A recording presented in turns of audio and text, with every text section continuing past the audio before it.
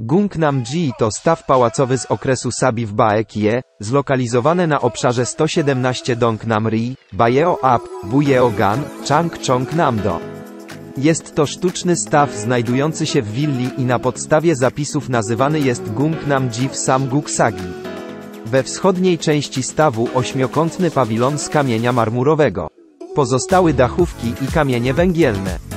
W 1964 roku zostało uznane za miejsce historyczne Korei numer 135.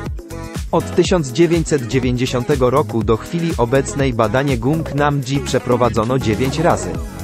W wyniku dochodzenia odnaleziono różne pozostałości, takie jak sztuczne drogi wodne, drewniane zbiorniki na wodę, studnie, pozostałości dróg, pola uprawne kryształów. Miejsca wypalania wyrobów ceramicznych, zidentyfikowano miejsca budowy filarów powstałe w okresie Sabi, odkopano także relikty z V i VII w, oraz I i IV w.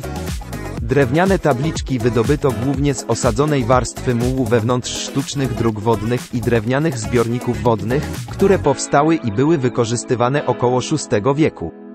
Zawierają nazwy powiatów, nazwiska osób, nazwy miejscowości, oraz fakt, że zbiornik wodny został zrekultywowany. Jeśli chodzi o Gung Nam-ji, w Samguk Songgi, Historia Trzech Królestw, Baek Jebongi, Historia Trzech Królestw, w 35 roku panowania króla mu panowania, 634, w marcu na południe od pałacu wykopano staw a woda została wciągnięta do drogi wodnej o długości 20 ri, gdzie rosły wierzby ze wszystkich stron wokół brzegu wody.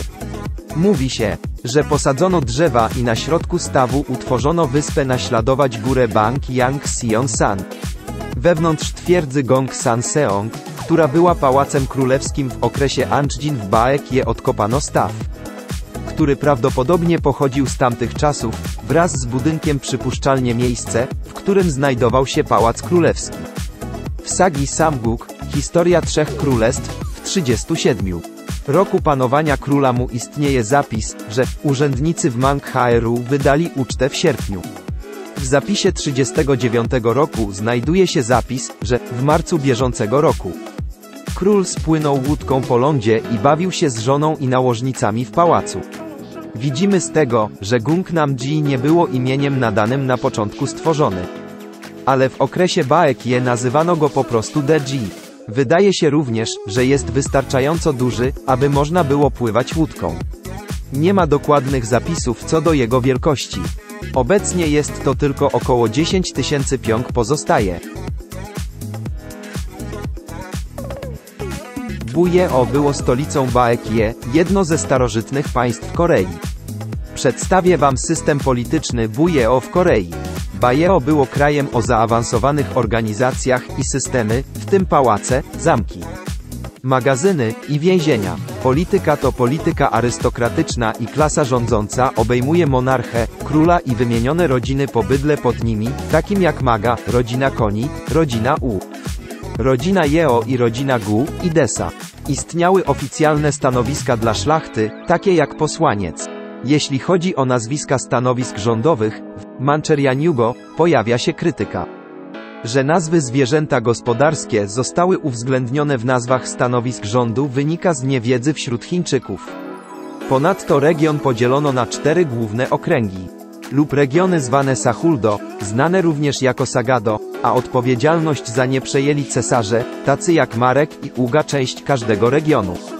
Na większych obszarach wyspy Sahul było ich tysiące gospodarstw domowych, a te mniejsze miały ich setki gospodarstwa domowe. Klasę rządzoną, lud, nazywano ludźmi z klasy niższej. I traktowano ich jak niewolników, bo musieli nosić różnych dostaw siły roboczej i zaopatrzenia dla klasy rządzącej. Nie brali bezpośredniego udziału w wojnie, ale byli odpowiedzialni za dostarczanie żywności i transport materiały. W tym czasie szlachta stanowiła centrum i skupiała zwykli ludzie z bronią, która była wyposażona w każdym domu. Aby wziąć udział w wojnie, Hominowie byli zamożnymi ludźmi z niższej klasy, którzy mieli pewien stopień własnej mocy i stanowili klasę podobny do Yeomenów w Anglii. Sądząc po tym, Bajeo wydaje się być feudalnym społeczeństwo.